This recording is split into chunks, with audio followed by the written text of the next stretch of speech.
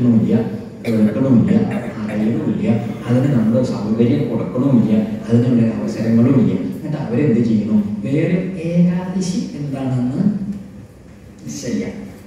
പഠിപ്പിക്കുകയില്ല. പക്ഷെ വേറെ ചിലത് വന്നാൽ അവർ ഗംഭീരമായിട്ട് കൊണ്ടാടും പത്രത്തിൽ പേരും വരും. ഏകാദശി നോട്ടന്റെ പേരും പത്രത്തിൽ അടുക്കയിലെ പോയി കൂട്ടി ഏകാദശി. കൊണ്ടാടാൻ ആരും ഉണ്ടാവില്ല. ഉണ്ടോ? എന്നാ വേറെ മതം ചെയ്തു നോക്കൂ.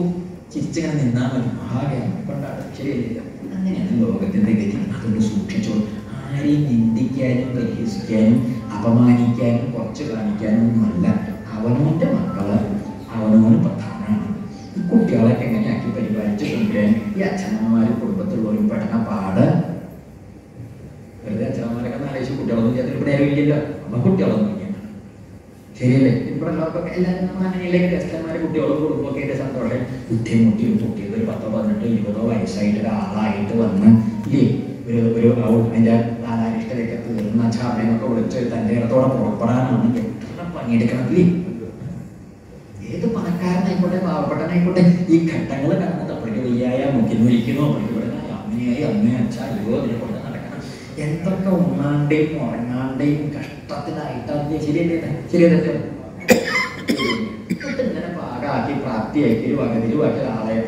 നിലയിലെത്തുമ്പോൾ കണ്ട വല്ലവന്മാര് കാക്കയുടെ ഗതിയ കാക്ക കാക്ക കൂട്ടിൽ എത്ര കേരളമായിട്ടാ വളർത്തേണ്ട എന്തിന്? കുയിലിന്റെ കുട്ടിയെ അത് കുറച്ച് കഴിഞ്ഞ് എന്ത് ചെയ്യും? അത് പറഞ്ഞങ്ങോട്ട് വിടുമ്പോ കാക്കാന്ന് ഇങ്ങനെ നോക്കിയിട്ട് ആ എന്റെ കുട്ടി എന്നാലും നീ ഇങ്ങനെ ശരിയല്ല ഒരു ദണ്ണം തോന്നില്ലേ? അത് അത്ര വായിക്കാറില്ലേ? കൂടുതൽ വായിച്ചോളൂ ഇവിടെ പറഞ്ഞ് കേൾക്കേണ്ട എത്ര വായിക്കുന്നവർക്ക് ഓർമ്മയിൽ തോന്നാൻ ചിലപ്പോൾ സൂചിപ്പിച്ചു എന്ന് മാത്രം. അതിന് നിൽക്കരുത് അതുകൊണ്ട് നമ്മുടെ കുട്ടികളെ നമ്മുടെ സമ്പ്രദായങ്ങളെ കുറിച്ച് പറഞ്ഞു കൊടുക്കുക. പൊട്ടക്കുഴികളുടെ ദുരിതം കൂടി ഒന്ന് പറഞ്ഞു കൊടുത്തോളൂ. എന്തിന്റെ ദുരിതം? പൊട്ടക്കുഴികൾ വഴിയിൽ കാണുന്ന പൊട്ടക്കുഴിയാണ് എന്ന് പറഞ്ഞു കൊടുക്കുക. അതിന്റെ സൗകര്യം നല്ലോണം ഉണ്ടെന്ന് അവർക്ക് അവർക്ക് അവരുടേതായ സൗകര്യങ്ങളുള്ള വഴികൾക്ക് കണ്ടു പഠിച്ചോളൂ ഒന്ന് പോയാൽ അത് പോയി എന്നുള്ളതല്ല ഒരു ശത്രുവും കൂടി ഉണ്ടായി എന്നാണ്. പോയി പോയിക്കോട്ടെ നമുക്ക് വലിയ ഇഷ്ടമൊന്നുമില്ല പക്ഷെ അതല്ല അവനാണ് പിന്നെ അവിടേക്ക് വരിക ഇതൊക്കെ പറയുന്നത് എന്താ നമ്മുടെ ഈ നാട് ഇന്ത്യ രാജ്യം മുഴുവനും കേരള രാജ്യം മുഴുവനും തെക്കും വടക്കും പടിഞ്ഞാറും കിഴക്കും ഇല്ലാതെ ഇങ്ങനെ നടക്കുമ്പോൾ ഒരു ആറേഴ് ദിവസം എട്ടൊമ്പത് ദിവസമോളോ നാട്ടിൽ താമസിക്കുമല്ലോ താമസിക്കേണ്ടി വരുമല്ലോ? താമസിക്കേണ്ടതും അവിടുത്തെ പാവങ്ങളായ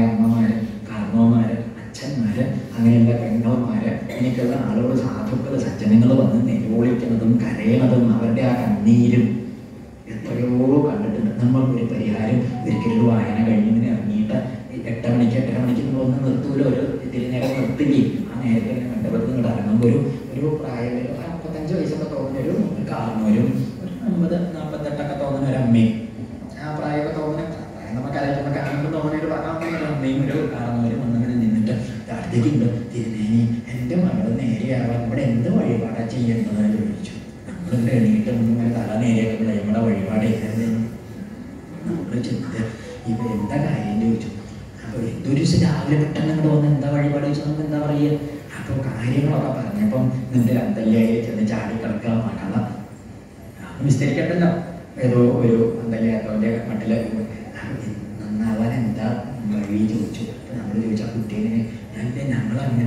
അങ്ങനെയൊന്നും ഞങ്ങൾ സ്വതന്ത്രമായിട്ട് വളരട്ടെ എന്ന് വിചാരിച്ചപ്പോ നന്നായി സ്വതന്ത്രമായിട്ട് വളർന്നു.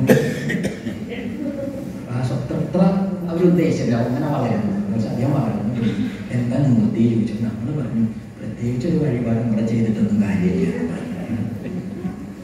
ഇവിടെ ഇന്നലെ ചെയ്തോളൂ. നിങ്ങളുടെ പണം ഇവിടെ നമുക്ക് എന്ത് കാര്യമുണ്ട്?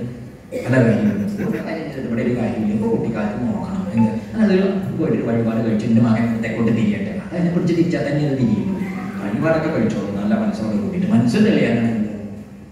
നമ്മൾ വഴിപാടിന് മഹിമ അല്ലാതെ അല്ലാതെ അവനെ നന്നാവില്ല എന്ന് വിചാരിച്ചവന്റെ പേരിൽ വഴിപാട് കഴിച്ച് നന്നാക്കാൻ പറ്റില്ല. അത് അത്രയൊന്നും പോകണ്ട അങ്ങനെ മൂക്ക് പിടിക്കേണ്ട. അവനെ നന്നാക്കാൻ ആരാണ് കൊടുക്കുക പൊട്ടിക്കുക എന്താ ചെയ്ത് എന്നിട്ട് അന്നത്തെ കൊണ്ട് ഈ തൊഴിക്കുക വഴിപാട് കഴിപ്പിക്കുക നമസ്കരിപ്പിക്കുക. നന്നാവും. ചിത്തസ്യ ശുദ്ധയെ കർമ്മ എന്നത് വസ്തുപരദ്ധയെ എന്ന് പ്രമാണം. ചെന്തർക്കം ഹൃദയം ശുദ്ധമായിട്ട് ഈ ശരീരം ഉറപ്പിക്കാൻ എന്നുള്ളതൊക്കെ ചെയ്യും ഇന്നും ഈ സംസ്കാരം ഇപ്പോഴും നമ്മുടെ ഇടയിൽ കുറേശ്ശെങ്കിലും ഉണ്ടാവുകൊണ്ട് നമ്മളൊക്കെ ഇങ്ങനെ അന്തസ്സായിട്ട് നല്ലോണം വൃത്തിയിൽ കൊടുക്കലും അങ്ങനെ വലിയ അപകടമില്ലാതെ നാമം ജപിച്ചും നമസ്കരിച്ചും നല്ല മട്ടിൽ അമ്പലത്തിലേക്ക് പോയി പോവാണ്ടേ. അതുകൊണ്ട് അമ്പലത്തിൽ പോയി പോവാതെയും പോയതുകൊണ്ട് നമ്മളുടെ ഇടയിൽ വലിയ ആളാവില്ല പോയി എന്തായാലും മോശക്കാരനും ആവുമോ ഇല്ല അവർ ഇല്ല. ഇന്നിപ്പോ കുറച്ച് ദിവസം പോയി കുറച്ച് ദിവസം പോവാണ്ട എല്ലാം പണിയൊക്കെ തിരക്കൊക്കെ ഉണ്ടായി. പോയി വെച്ചാൽ നമ്മൾ ആലോചിച്ചൊന്നും പറയാറില്ല എന്താ കാരണം നമ്മുടെ അതൊക്കെ വ്യക്തിപരം ആറ് കൂട്ടി ഉണ്ടില്ല ചില മോശക്കാരനൊന്നും രാവിലെ കാലം കൂട്ടി ഉണ്ട് എങ്ങനെയാ ഉണ്ടാകുന്നത് ഉണ്ടില്ല വെച്ചാൽ നമുക്ക് വിരോധത്തിന് നമ്മളായിട്ടുള്ള ബന്ധത്തിനെ ബാധിക്കുന്ന വിഷയം അല്ലാത്തതുകൊണ്ട് നമ്മൾ അതിലൊന്നും ഇങ്ങനെയാണ് നമ്മുടെ ധർമ്മം വളർന്ന് ഇങ്ങനെ എത്തിയത് അല്ലാത്തോടാണ് പല ദിക്കിലും മുഷ്ടിലും ഉഷ്ണിക്കലൊക്കെ വ്യത്യാസം മനസ്സിലാക്കുക അങ്ങനെ ഗുരുവന്തനായ എന്നുള്ള പ്രയോഗം കുടുംബത്തിലെ ഈ ബോധം ഒരാൾക്കുണ്ടായ പ്രത്യേകം കാരണവന്മാരായ കൂട്ടര് അങ്ങനെയുള്ള ശാസ്ത്രാർത്ഥങ്ങളൊക്കെ മനസ്സിലാക്കിയത് കുറേശ്ശെ എന്ത് ചെയ്യണം. അറിവുള്ളവര് അറിവില്ലാത്ത തലമുറയ്ക്ക് പറഞ്ഞു കൊടുക്കണം. അങ്ങനെയാണ് നമ്മുടെ ഇടയിൽ ഈ ശാസ്ത്രങ്ങളൊക്കെ വന്നത്. അല്ലാതെ നമ്മുടെ ഇടയിൽ എന്തിന്റെ എന്തിന്റെ സമ്പ്രദായം ഇല്ല. മതപാഠശാലയൊന്നും നമ്മുടെ ഇടയിലുണ്ടോ? ഉണ്ടോ? മതപാഠശാല ഉണ്ടോ? ഇത് ചിലർ പറയാറുണ്ട് തിരുമേനി നമുക്ക് മാത്രം ഈ മതപാഠശാല ഇല്ലാത്തതുകൊണ്ടാണ് നമ്മുടെ സമ്പ്രദായം നീ ഏത് നമ്മൾ ചിലർ നിലവിളിക്കും. നമ്മുടെ വായനയ്ക്കൊക്കെ പോകുമ്പോൾ അങ്ങനെ ഓരോരുത്തർ വരും ഞായറാഴ്ച വരെ വരും ഒരു ഞായറാഴ്ച തുടങ്ങിയിട്ട് അതിനോടൊക്കെ ആൾക്കാരെ അടുത്ത ഞായറാഴ്ച നോക്കാനും ഇത് തീരെ അപ്പൊ ഏതെങ്കിലും ഒരു ഞായറാഴ്ച ആണെങ്കിൽ അത് വരിക ഇത് ഇത് പറയാം നമ്മുടെ ഇടയിൽ കേൾക്കുമ്പോൾ ഉശരിട്ട് വന്നിട്ട് തിരുമേനിയെ കണ്ടേ പോകുള്ളൂ എന്നാണ് വാശിയാണ് എന്താണ് പറയുക എന്താണ് നമ്മുടെ ഇടയിൽ ഈ മതപാഠശാല ഒന്നും ഇല്ല ആയതുകൊണ്ടാണ് അപ്പൊ നമ്മൾ ചോദിച്ചു അന്നിപ്പോ എത്ര ദിവസം വന്നത് കേൾക്കാൻ ഞങ്ങൾക്ക് ഒന്ന് വരികയാണ് അതായത് അവസാനത്തെ ഉച്ചയ്ക്ക് ഉപയോഗിക്കുന്ന നേരത്ത് വന്നത് അതാണ് നമ്മളുടെ ഈ മതപാഠശാലയുടെ പ്രാധാന്യത്തെ കുറിച്ച് അദ്ദേഹം അഹോരാത്രം നമ്മൾ ഏഴ് ദിവസം ഇവിടെ തുടങ്ങിയാൽ അറിയില്ല ഒന്നും കേൾക്കാൻ പോകുന്നിട്ടില്ല ഇങ്ങനത്തെ പൊങ്ങച്ചങ്ങളൊക്കെ നമ്മുടെ നാട്ടിൽ ധാരാളം ഉണ്ട്. അവരാണ് ഇതിനെ കുറിച്ച് കേൾക്കാൻ പറ്റുന്നതൊന്നും പറയാം അതൊന്നും നല്ലോണം ശ്രദ്ധിച്ച് കേട്ട് എപ്പോഴെങ്കിലും കാണും എന്തെങ്കിലും ചെറിയ ചെറിയ ചെറിയ സംശയങ്ങളേ ഉള്ളൂ. ഒന്ന് കണ്ടാൽ മതി ഒന്ന് തൊഴുതാൽ മതി. എത്രയൊക്കെ ഉള്ളതും ചെയ്തും ചോദിക്കും മിണ്ടി എന്നൊക്കെ പറയുക. സന്തോഷമായിട്ട് കൂട്ടുക അത്രയൊക്കെ സാധുക്കളൊക്കെ എന്തെങ്കിലും മോഹമുള്ള അവർ ശ്രദ്ധിച്ചു കേൾക്കും മനസ്സിലാക്കും പറയും പഠിക്കും പോവും പക്ഷേ അങ്ങനെയാണ് അങ്ങനെയാണ് നമ്മുടെ ഇടയിൽ ഈ സമ്പ്രദായങ്ങളൊക്കെ ഇങ്ങനെ അച്ഛൻ പറഞ്ഞു അമ്മ പറഞ്ഞു. നമ്മളൊക്കെ അങ്ങനെയല്ലേ പഠിച്ച കുട്ടിക്കാലത്തൊക്കെ മുത്തശ്ശിയൊക്കെ പറയാറുണ്ട് ഈ ഏഹ്, ഊണഴിക്കാൻ വരുമ്പോൾ കുടിയൊക്കെ കഴിഞ്ഞ് വന്നാലും കാൽ കഴുകി വരും കുട്ടി ഊണഴിക്കാൻ കാൽ കഴുകി വന്നിട്ട് ഊണഴിക്കാൻ ശ്രമിക്കണം അങ്ങനെയുണ്ട് പിന്നെ ഉറങ്ങാൻ പോകുമ്പം കാൽ നനഞ്ഞിട്ടാണെങ്കിൽ കാൽ തുടച്ച വൃത്തിയായിട്ട് ഉണങ്ങിയിട്ടേ ഉറങ്ങാൻ സമ്മതിക്കുള്ളൂ അങ്ങനെയുണ്ട് ഊണഴിക്കുമ്പോൾ ഇടത്തെ കൈകൊണ്ട് പോലും തല തൊടാൻ സമ്മതിക്കൂല ഇതൊക്കെ മുത്തശ്ശി പണ്ട ഇങ്ങനെ പറഞ്ഞ് പഠിപ്പിച്ചതാണ് ഇതൊക്കെ എന്തിനാ ഈ പറയണത് നമുക്ക് അന്നൊന്നും വലിയ വശമൊന്നും ചെറിയ കുട്ടികളാകുമ്പോഴേ അഞ്ചോ അഞ്ചോ ആറോ വയസ്സുള്ള കാലത്ത് പറയുന്ന കാര്യം. പിന്നെ കുറച്ച് പ്രായമൊക്കെ ആയി ഇത്തിരിയൊക്കെ കഴിഞ്ഞ് പഠിച്ചു ഓരോ ഭാരതം മഹാഭാരതത്തിലുണ്ട് ഇതൊക്കെ ഏതുണ്ട് മഹാഭാരതത്തിൽ പറയുന്നു ഊണ് കഴുകാൻ ഊണ് കഴിക്കാൻ പോകുമ്പോൾ കാൽ കഴുകിയിട്ടേ ഊണഴിക്കാവൂ പിന്നെ ഉറങ്ങുമ്പോൾ നനഞ്ഞ കാലുമായിട്ട് ഉറങ്ങാൻ പാടില്ല. ഉണ്ണുമ്പം മറ്റേ കൈ കൊണ്ടാണ് ഉണ്ണനെ വെച്ചാലും മറ്റേ കൈ കൊണ്ട് പോലും തല തുടരുത്. അപ്പൊ ഇതൊക്കെ ഇവിടുന്ന് കിട്ടി? ഇത് മുത്തശ്ശിത് മഹാഭാരതത്തിലുണ്ട് കുട്ടി എത്രാമത്തെ അധ്യായത്തിൽ അധ്യായത്തിന്റെ ഭാരതത്തെ ഒന്നും പറഞ്ഞ് പേടിപ്പിക്കാൻ ആര് നിന്നിട്ടില്ല? കുറെ കാലം കഴിഞ്ഞപ്പോൾ നമ്മളത് മനസ്സിലാക്കി. ഇന്ന ദിക്കിലാണ് ഇവിടെ നിന്നാണ് നമുക്ക് ആര് തന്നത് ഈ വിദ്യയാണ്. ഇങ്ങനെയാണ് നമ്മുടെ സനാതന ധർമ്മത്തിന്റെ ഒഴുക്ക്. അടിയൊഴുക്ക് ഇതാണ് അടിയൊഴുക്ക് ഇപ്പോഴും നമ്മുടെ ഇടയിൽ ആളുകളെ നമുക്ക് നമ്മുടെ സമുദായത്തിൽപ്പെട്ടവര് എത്ര എന്ത് പഠിച്ചിട്ടുണ്ടെങ്കിലും ഒരു കഥയും ഒരു സമ്പ്രദായം പഠിച്ചിട്ടില്ലെങ്കിലും ഒരു മുത്തശ്ശന്റെയും ഒരു നാഥന്റെയും ഒരു ദിക്കിലും ഒരു ഭാഗവത രാമായണം ഒന്നും കണ്ടിട്ടില്ലെങ്കിലും നമ്മുടെ അവിടെ എന്തൊക്കെ അന്തലേക്ക് പോകുന്ന ശങ്കിക്കും അങ്ങനെയാണ്. കടലാസൊക്കെ മറ്റു നോക്കൂ. ഏറ്റവും കൂടുതൽ കള്ളന്മാരും പിടിച്ചു പറിക്കാരും വേണ്ട സ്ത്രീകളെ വിഷമിപ്പിക്കുന്നവരും ഇങ്ങനെയൊക്കെയുള്ള സമ്പ്രദായക്കാർ കൂട്ടത്തിൽ വന്നവരുടെ കള്ളക്കടത്തായിക്കോട്ടെ വേണ്ടാത്തായിക്കോട്ടെ ഉത്തരം പറയരുതല്ലോ. വെറുതെ ചോദിച്ച ചോദ്യം ഉത്തരം കേൾക്കാൻ ചോദിച്ചതല്ല ഉള്ളിൽ വെച്ചോളൂ. ഉത്തരം പറഞ്ഞാൽ നമ്മളോ എന്ത്? ഇത്തരം ആഘോഷങ്ങളെ പറഞ്ഞാൽ ഇയാളാന്ന് പറയും. നമുക്ക് നാളെ വേണ്ടിലേക്ക് പോവുക പേടിക്കാത്തവരുണ്ടാവും പറഞ്ഞതിന്റെ അർത്ഥമല്ല. എന്തുകൊണ്ട്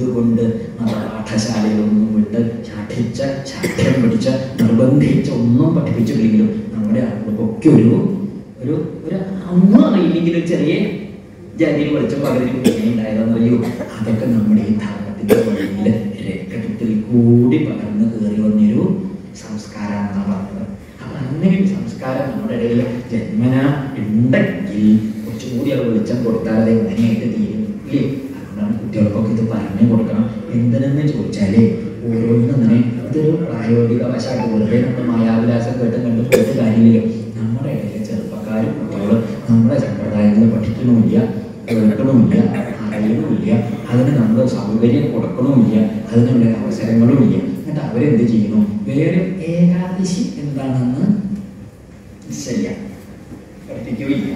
പക്ഷെ വേറെ ചിലത് വന്നാൽ അവർ ഗംഭീരമായിട്ട് കൊണ്ടാടും പത്രത്തിൽ പേരും വരും. ഏകാദശി നോട്ടന്റെ പേരൊന്നും പത്രത്തിൽ അടുക്കേല പോയി കൂട്ടി. ഏകാദശി. കൂട്ടി ഇതിന്റെ എല്ലാവരും ഒരേ ക്ലാസ്സിൽ ഒരേ ടീച്ചർ ഒരേ അമ്പ് വീട്ടിൽ വെച്ചിട്ട് എന്നെ പഠിപ്പിച്ചത്? ചില മാസാട്ടുകളിൽ കൊണ്ട് പ്രത്യേകം പഠിപ്പിച്ചതൊന്നുമില്ലല്ലോ. എന്നിട്ട് എന്തുകൊണ്ട് അർജുനെ കേമനായി? ഇത്രയേ ഉള്ളൂ. അർജുനൻ എന്ത് ചെയ്തു? പണിയെടുത്തു. മറ്റുള്ളവരോ? മറ്റുള്ളവരോട് പണിയെടുത്തു. കണ്ണന് പറ്റുന്ന പണിയല്ലേ എടുക്കുക. വ്യത്യാസം മനസ്സിലായില്ലേ? അത്രയും അത് എല്ലാ കാലത്ത് അങ്ങനെ തന്നെ. അങ്ങനെ രാത്രിയും പകലും അഭ്യാസം ചെയ്ത് ചെയ്ത് അർജുനന് രണ്ട് കൈയോണ്ടും ആവാനായി. എന്ത്? നമുക്ക് രണ്ട് കൈയോണ്ട് പറ്റുന്ന ഒരു പണി എന്തേ ഉള്ളൂ. അർജുനൻ രണ്ട് കൈയോണ്ട് എന്ത് ചെയ്യുന്ന? വലത്തെ കൈയോണ്ട് അമ്മയ്ക്ക് അടുത്ത കൈയോണ്ട് ഇതൊന്നും മാഷ് പഠിപ്പിച്ചതൊന്നുമല്ല ഇതൊക്കെ ശീല സ്വാധീനമാണ്. എന്താ? ശീലിച്ച് ശീലിച്ച് ഇടത്തെ കൈയോണ്ട് അമ്മായിക്കും പക്ഷെ അങ്ങനെയാണ് അർജുനൻ സവ്യസാജി എന്ന് പേര് പേരുന്നത് ആരാണ് സവ്യസാചിയുടെ സവ്യഷാജി എന്നാണ്. സവ്യഷാജി അല്ല സവ്യസാജി തന്നെയാണ്. സവ്യ എന്ന് പറഞ്ഞാൽ ഇടത്തെ കയ്യ് ഇടത്തെ കയ്യും വശായി വലത്തെ കയ്യും വശായി. ഇടത്തെ കയ്യ് എല്ലാവർക്കും ഒരു കയ്യാവും നല്ലോണം വശം ചിലർക്ക് ഇടത്തെ കയ്യ വശമാ വലത്തെ കയ്യ അത്ര വശം ഉണ്ടാവും. നമ്മൾ സൂചി നൂൽ കുറയ്ക്കാൻ എന്ത് കൈകൊണ്ടാണ് ഒരു കൈകൊണ്ട് കുറത്താനും പോകില്ല എന്നാലും നമ്മൾ നല്ല പ്രായത്തിലായിക്കോട്ടെ ഏതെങ്കിലും സൂചിയിൽ നൂൽ കുറക്കുക ഏത് കൈകൊണ്ടാണ് നമുക്ക് വശമുള്ള കൈ മറ്റേ കൈ വെച്ചാൽ മറ്റേ കൈ മറ്റേ കൈ അതുകൊണ്ട് നല്ല ഏതൊക്കെ കയറി കിട്ടുള്ളൂ? മറ്റേ കൈ കൊണ്ട് നമുക്ക് ചെറിയ ചെറിയ പണി പറ്റി സൂക്ഷ്മ പണിയൊന്നും എന്തുകൊണ്ട് പറ്റില്ലേ? രണ്ട് കൈ കൊണ്ടും എല്ലാവർക്കും പറ്റില്ല പത്തനോടുണ്ടോ ചില വല്ല സഭ്യസാജിമാരും നമ്മുടെ നാട്ടിലുണ്ടോ? കണ്ടിട്ടില്ല അത് പറ്റും എന്തെങ്കിലും ഒരു സാജിയേ ഉള്ളൂ.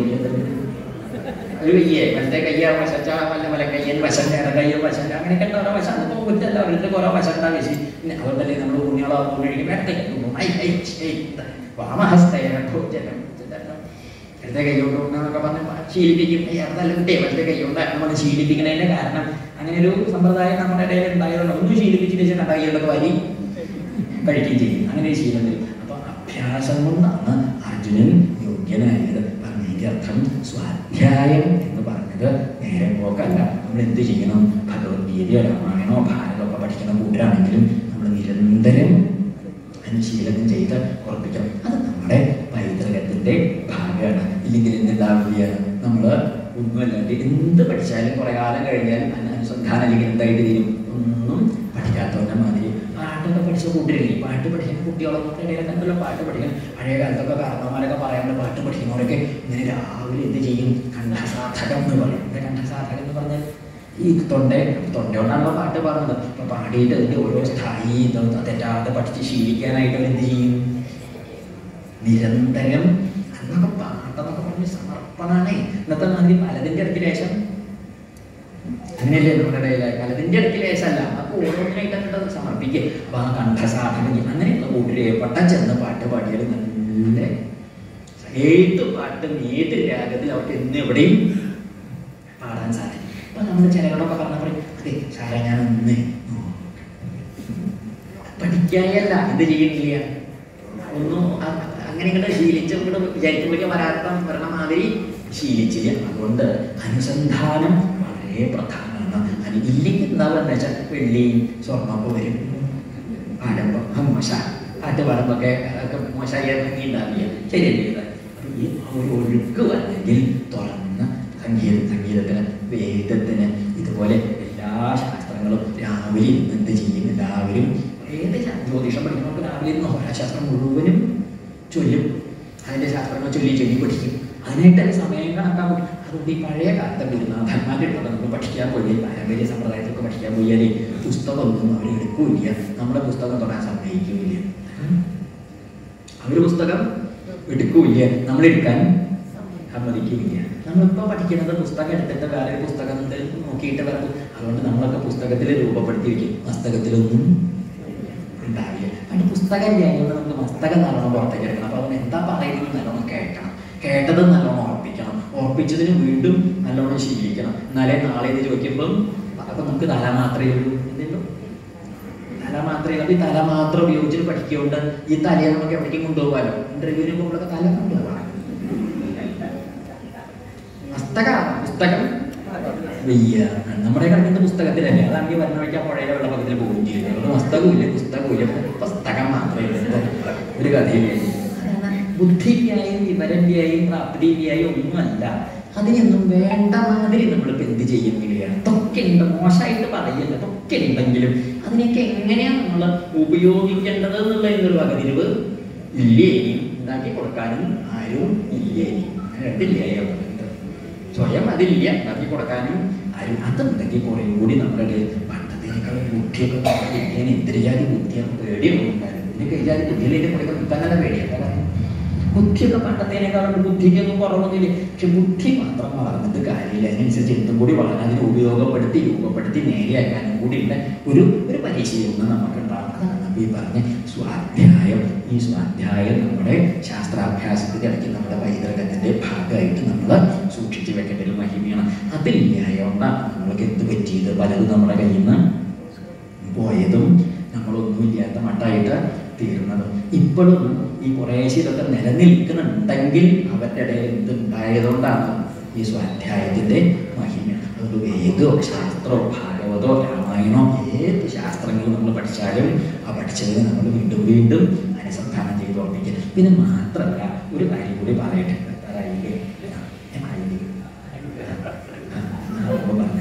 അതെന്താ വെച്ചാൽ ഈ ശാസ്ത്രങ്ങളൊക്കെ പഠിക്കുമ്പോഴേ നമ്മളിപ്പോൾ ഈ സ്വാധ്യായത്തിന്റെ കാര്യം പറഞ്ഞില്ലേ ഈ സ്വാധ്യായം മാത്രമല്ല ഒരു കാര്യം കൂടി ഉണ്ട്. നമ്മൾ പല രീതിയിൽ കൂടുതൽ ശാസ്ത്രങ്ങളൊക്കെ പഠിക്കും വിശേഷിച്ച പ്രായമായ കാരണവന്മാരൊക്കെ ഇപ്പം നല്ലോണം ഇരുന്ന് ശ്രദ്ധിച്ച് കേട്ട മനസ്സിലാക്കി. നല്ലോണം കുറ്റം പറയാൻ വയ്യ. എന്താ വെച്ചാൽ ഇപ്പം പണ്ടത്തേനേക്കാളും ആളുകൾക്ക് പ്രായമായി എന്നുള്ളത് ഒരു തെറ്റോ കുറ്റമല്ല ധാരാളമായിട്ട് ശ്രദ്ധിക്കുന്നു പഠിക്കുന്നു. ചെറുപ്പക്കാരേക്കാളും നന്നായിട്ട് മുത്തശ്ശന്മാരൊക്കെ ശാസ്ത്രങ്ങളൊക്കെ നന്നായി പഠിക്കണ്ടേ? അസലായി പാട്ട് പഠിക്കുന്ന ചില കാരണന്മാര് കണ്ടാൽ നമുക്ക് അസൂയി തോന്നുമല്ലോ കാരണന്മാര് അവർ പാട്ട് പഠിക്കണോ എന്തിനാ കാരണന്മാര് അങ്ങനെയില്ല. പട്ടി പഠിക്കട്ടെ. നാട്ടിൽ പഠിക്കുന്നു പല ജാതി ശാസ്ത്രങ്ങൾ പഠിക്കുന്നു. അങ്ങനെ അതൊക്കെ നല്ല കാര്യമാണ് ഇതൊക്കെ ആർക്ക് ഗുണം ചെയ്യും? അടുത്ത തലമുറയ്ക്ക് വിളിച്ചാണ് അത് കുട്ടികൾക്കൊക്കെ നമ്മൾ പഠിക്കുന്നതും കേൾക്കുന്നതും അറിയുന്നതും ആയ ശാസ്ത്രങ്ങളൊക്കെ നമ്മൾ എന്ത് ചെയ്യണം? കുറേശ്ശൊക്കെ നമ്മുടെ കുടുംബത്തെ ആളുകൾക്കൊക്കെ ഭാര്യയ്ക്കോ ഭർത്താവിനോ അല്ലെങ്കിൽ ആരാച്ചാൽ കുട്ടികൾക്കോ നമ്മുടെ ആളുകളൊക്കെ ഉണ്ടാവില്ലേ? അവരുടെ ഉള്ളിലേക്ക് കുറേശ്ശെ കുറേശ്ശെ നമ്മൾ എത്തിക്കണം. എന്താ കാരണം ചോദിച്ചാലേ പണം ഉണ്ടായതുകൊണ്ടോ അല്ലെങ്കിൽ സൗന്ദര്യം ഉണ്ടായതുകൊണ്ടോ പേര് ഉണ്ടായതുകൊണ്ടോ അല്ലെങ്കിൽ മഹിമ ഉണ്ടായതുകൊണ്ടോ ജീവിതം സുഖാവില്ല. സുഖാവില്ല. സുഖാവില്ല. സുഖാവില്ലേ? എന്റെ കുടുംബത്തിൽ ഉണ്ടാവണം. ഒരു ശാന്തതയും സമാധാനം ഉണ്ടാവണമെങ്കിൽ അച്ഛനും അമ്മയും ഭാര്യയും ഭർത്താവും മക്കളും എല്ലാവരും ഏതാണ്ട് ഒരു നല്ല മട്ടമാതിരിയായിട്ട് ഒരുപോലെ കുടുംബത്തിൽ ഒരാൾക്ക് മാത്രം എന്തുണ്ടാവില്ല കുടുംബത്തിൽ സൂര്യൻ ഉണ്ടാവില്ല. ഇപ്പൊ നമ്മുടെ നാട്ടിലുള്ള ഒരു നല്ല മട്ടമാതിരിയായിട്ട് ഒരുപോലെ കുടുംബത്തിൽ ഒരാൾക്ക് മാത്രം മഹിമ ഉണ്ടായതുകൊണ്ട് എന്തുണ്ടാവില്ല. കുടുംബത്തിൽ സൂര്യൻ ഉണ്ടാവില്ല. ഇപ്പൊ നമ്മുടെ നാട്ടിലെ ബുദ്ധിമുട്ട് അതാണ് അച്ഛന് നല്ല വിവരം പറഞ്ഞത് കഴിഞ്ഞാൽ ഇവരെ നമ്മുടെ ചിലവാവില്ല അമ്മയ്ക്ക് വിവരം പറഞ്ഞത് കാര്യമില്ല അവിടെ നിന്ന് അവർ തോന്നിയ മാതിരി മക്കൾ മക്കൾക്ക് തോന്നിയ മാതിരി മറ്റൊരു ഒരു സുഖവും ഉണ്ടാവില്ല സമ്പ്രദായവും ഉണ്ടാവില്ല. അടുത്ത തലമുറയ്ക്ക് എന്തുണ്ടാവില്ല? ഒരു ഭാവം ഉണ്ടാവില്ല അതുകൊണ്ട് എന്തെങ്കിലും എങ്ങനെയെങ്കിലും കുറേശ്ശെയെങ്കിലും ഉള്ളത് നേരാമെന്നും ചെയ്യുക നല്ലത്? ഇപ്പം ഭാര്യയും ഭർത്താവും നമ്മുടെ നാട്ടിലൊക്കെ എങ്ങനെയാണെന്നുണ്ടെങ്കിൽ ഈ ഒരു സമ്പ്രദായം സംസ്കാരം പഴയ കാലത്തൊക്കെ എങ്ങനെയാണെന്ന് വെച്ചാൽ മഹാ ഭാഗവതത്തിൽ ഒരു വരിയുണ്ട്. എന്താണെന്നറിയോ ഈ ധൃതരാഷ്ട്ര മഹാരാജാവും അദ്ദേഹത്തിന്റെ ഭാര്യ ഗാന്ധാരി ദേവിയും കൂടി വിതുരന്റെ വർത്തമാനം കേട്ടിട്ട് രാത്രിക്ക് രാത്രി തപസ്സിന് പോയി എന്നൊരു പ്രയോഗം ഉണ്ട് ഭാരത് ഭാഗവതത്തിൽ. ഉം, അറിയില്ലേ? അങ്ങനെ പോയി. അവർ പോയപ്പോ പിറ്റേന്ന് ആരോടും പറയണ്ടേ പോയതേ? അദ്ദേഹം അവരോട് പറഞ്ഞില്ല പോകുമ്പോ? അദ്ദേഹം കാട്ടിക്കിട്ട് പോയി? ഭാര്യ കൂട്ടി അവർ കാട്ടിക്ക് പോയി? എന്താ പറയാത്ത പോയത്? ഓണച്ചിട്ട് പോയത്? അവരോട് പറയാനൊന്നുമില്ല പറയേണ്ട കാര്യമില്ല. എന്ന് വെച്ചിട്ടൊന്നും പറഞ്ഞ് കുട്ടി പണിയൊന്നും അതൊക്കെ അങ്ങനെ പോകണം എന്നുള്ളത് അങ്ങനെ പോകുകയല്ലാതെ ഇതൊക്കെ ആരെങ്കിലും പറഞ്ഞു നമ്മുടെ നാട്ടിൽ ഇങ്ങനെ നടന്ന പറയും അമ്മ പണ്ട് മകന്റെ അടുത്ത് വന്ന് അമ്മ അമ്മയ്ക്ക് സന്യസിക്കാൻ പോകുക കാശിക്ക് പോവുകയാണ്. മൂത്തമ്മനോട് അങ്ങനെ കുട്ടിയെ മുടി കഴിയാത്ത പക്ഷേ ഇന്ന് പോയി കുട്ടിയില്ല? ഇനിയിപ്പം ഞാൻ അമ്മ പോയി ഞങ്ങൾക്ക് ആരാണ്ടാവുക വേദനയെ കുറിച്ച് ആയിക്കോട്ടെ രണ്ടാമത്തോടെ ശ്രീദേവിയുടെ വന്നിട്ട് ദേവി അമ്മ കാശിക്ക് പോകാവും ശ്രീദേവിക്ക് കുംഭമാസത്തിൽ മഴ പെയ്യണം സന്തോഷം. പുറത്തേക്ക് കാണിച്ചില്ല. ഇത് ഉമ്മ പോയി ഞാൻ കാരണം മൂന്നാമത്തെ സാവിത്രി സാവിത്രി സാവിത്രിയെ അമ്മ.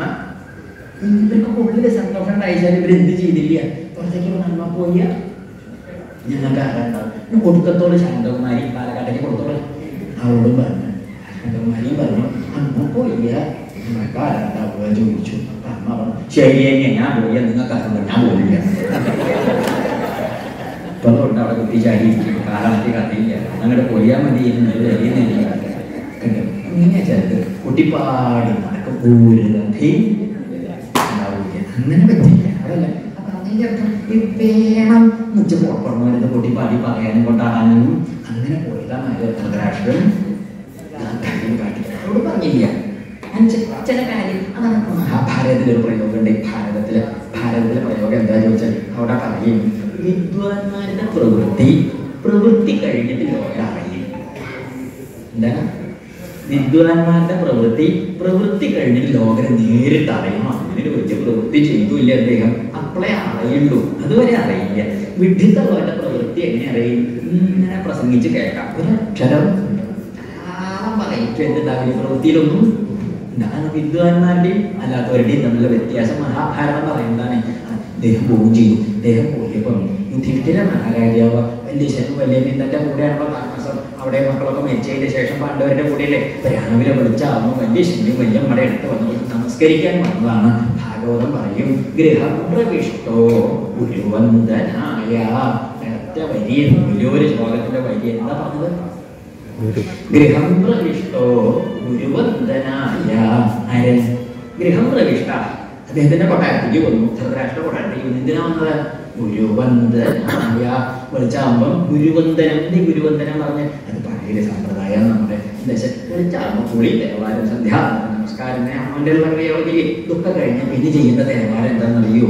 അമ്മ അച്ഛൻ ഗുരുനാഥന്മാര് ജ്യേഷ്ഠന്മാര് മുതിർന്നവരൊക്കെ എന്ത് ചെയ്യണം?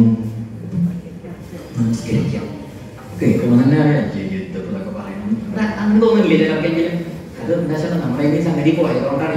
അങ്ങനെയുണ്ട് നമസ്കരിക്കും. പണ്ടൊക്കെ അമ്മയും അങ്ങനെ മുത്തശ്ശന്മാരുടെ അച്ഛൻ മുത്തശ്ശിമാര് അതുപോലെ അമ്മാവന്മാര് അപ്പന്മാര് വല്യശ്ശന്മാര് അങ്ങനെയുള്ള കാരണവന്മാര് നമുക്ക് പൂർവികന്മാര് ജ്യേഷ്ഠന്മാര് ഓപ്പോളന്മാര് ഓപ്പോളം ഓപ്പണമാരെയൊക്കെ ജ്യേഷ്ഠത്തിമാര് ഓപ്പോളന്മാരെയൊക്കെ വെച്ച് അവരൊക്കെ അങ്ങോട്ട് നമസ്കരിക്കും ഉത്തരേന്ത്യയിൽ ഇപ്പോഴും ഈ സമ്പ്രദായമൊക്കെ പല ദിക്കിലുണ്ട്.